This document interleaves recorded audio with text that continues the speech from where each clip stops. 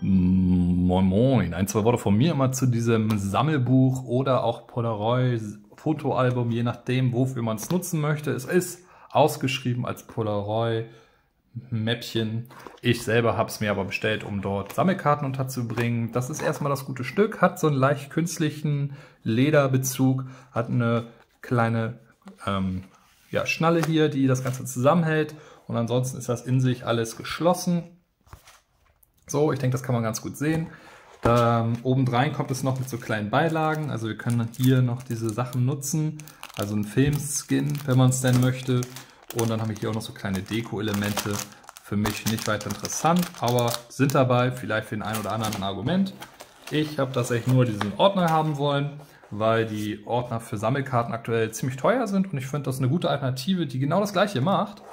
Und zwar haben wir nämlich hier die Hüllen und die sind eben so geschnitten, dass man sie von der Seite einschiebt. Also für Sammelkarten optimal, weil nichts von oben reingeht. Wenn ich eine kleine Folie um meine Karte mache, kann ich sie einfach hier reinschieben. Und das ist auf allen Seiten so. Das ist also oben in sich geschlossen. Das heißt, die Karten werden optimal geschützt. Das wäre erstmal eine ganz schöne Sache. Und ich habe hier mal ein Beispiel. Wir nehmen jetzt hier einfach mal so eine Karte und dann können wir die eben hier einfach so reinsliden. Und dann, jetzt hänge ich hier fest sitzt das alles ganz solide hier drin und man kann da gar nicht so viel falsch machen. Wir können hier einfach mal noch eine einschieben. So, ich habe da nämlich noch nichts einsortiert, aber das kommt dann noch.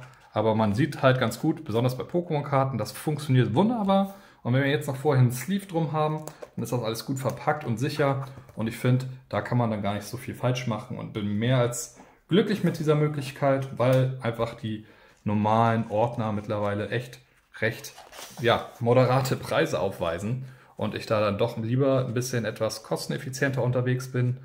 Und ich finde, dass das sich durchaus sehen lassen kann, um eigentlich kein Unterschied zu sehen ist, außer dass eben hier kein extra Print drauf ist. Aber das muss meiner Meinung nach auch nicht der Fall sein. Und hier passt ordentlich was rein. Das ist auch solide, alles sauber verarbeitet. Also dementsprechend ein ganz schönes Produkt und ich kann es nur empfehlen.